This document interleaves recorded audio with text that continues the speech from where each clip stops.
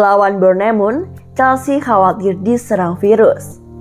Jelang laga Chelsea vs Bournemouth, skuad Blues dilanda kekhawatiran. Dikutip Tribun Lampung dari Chelsea.com, skuad Bournemouth tengah diserang virus buruk menjelang laga tandang ke markas Chelsea. Laga Chelsea vs Bournemouth akan berlangsung di Stamford Bridge pada Rabu, 28 Desember 2022. Bournemouth tengah mengalami 10 hari terakhir yang sulit dikarenakan virus yang menyebar di sekitar skuad. Kami mengalami 10 hari terakhir yang sulit, virus yang sangat buruk yang menyebar ke seluruh grup jadi kita harus menelpon beberapa menit terakhir. Beberapa pemain muda telah melewatkan periode yang nyata dan panjang hingga 10 hari. Beberapa dari mereka melewatkan pelatihan, jadi itu adalah hal yang buruk. Saya pikir kami kehilangan 8 hingga 10 poin pada satu poin minggu lalu, dan itu telah sedikit demi sedikit memasuki minggu ini. Tapi kami memiliki cukup tersedia dan saya berharap ketika kami sampai di sana besok segalanya akan terlihat sedikit lebih baik dan kami dapat menyebutkan tim yang nyata dan kuat.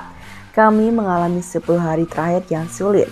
Virus yang benar-benar jahat menyebar ke grup, jadi kami harus melakukan beberapa panggilan di menit-menit terakhir. Beberapa pemain telah melewatkan mantra yang sangat panjang, sampai 10 hari ke depan.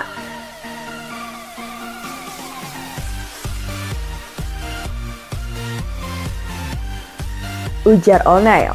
Kedengarannya tak enak ketika virus menyebar dan menghambat persiapan banyak pemain di Scott. Dengan pertandingan melawan Chelsea dalam waktu enam hari, mereka berharap badai ini akan berlalu. Chelsea akan menyambut mereka di Stamford Bridge untuk pertandingan Liga Inggris pertama pasca jeda internasional paruh kedua musim. Sementara jelang Liga Inggris paruh kedua bergulir, persiapan skuad Chelsea sedikit terhambat dikarenakan berbagai alasan di antaranya beberapa pemain yang cedera.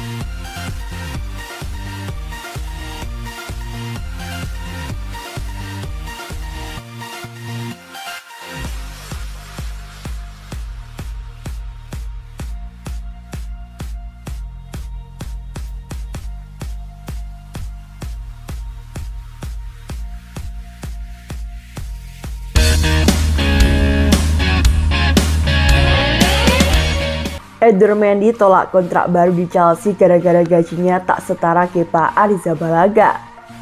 Chelsea harus dibuat pusing tujuh keliling setelah sedoran kontrak baru kepada Eder Mendy ditolak mentah-mentah.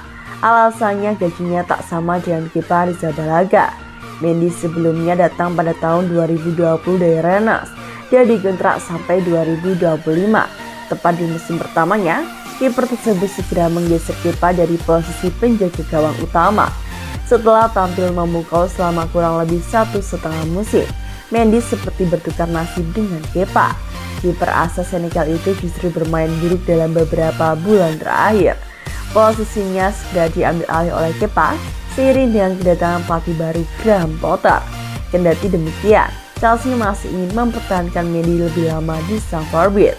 Menurut laporan jurnalis Andi Dilong, Chelsea telah mengajukan kontrak berdurasi panjang kepada Mendy durasi selama enam tahun. Penolakan Mendy didasari dikarenakan gaji yang ditawarkan Chelsea tak sesuai dengan yang diharapkan. Laporan tak menyebutkan berapa besaran gaji yang dimaksud. Yang pasti, Mendy disebut ingin punya gaji yang sama dengan Kepa. Mendy memang bukan sekelas kiper lapis kedua, tetapi punya kualitas jadi kiper utama. Jelasi dari data di Sportrack, perbedaan gaji Mendy dan Kepa memang cukup jauh kira-kira sekitar tiga kali lipat. Gaji Kepa per minggunya berada di angka 150 ribu pound. Sedangkan Mendy sejak didatangkan dari Rennes hanya menerima 52 ribu pound sterling per pekan. Dengan kata lain, Mendy mengharapkan ada kenaikan gaji sekitar tiga kali lipat dari tawaran yang diajukan Chelsea. Laporan yang sama menyebutkan bahwa Chelsea ogah untuk menaikkan tawaran itu untuk Mendy. Tak seperti biasanya, Chelsea memilih untuk keras kepala dalam negosiasi. Kenaikan gaji yang diminta Mendy dianggap terlalu tinggi. Alhasil, sejumlah tim kini sedang memantau situasi Mendy di Chelsea. AC Milan, Monaco, dan Nice dikabarkan menjadi tim-tim yang berminat mendapatkan jasa Mendy.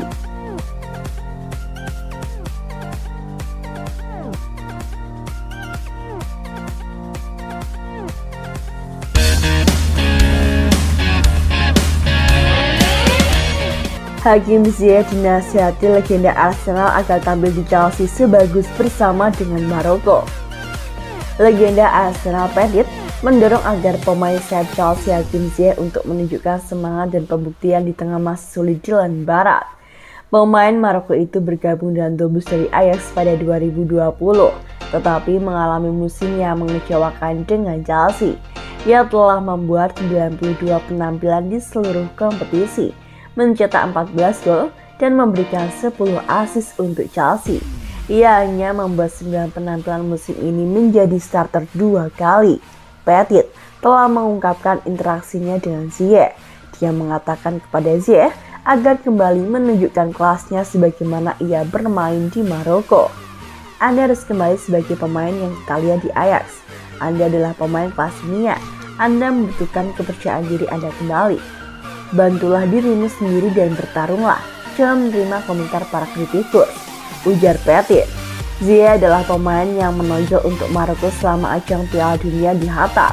Bersamanya, Atlas Lion telah mengejutkan di peringkat keempat.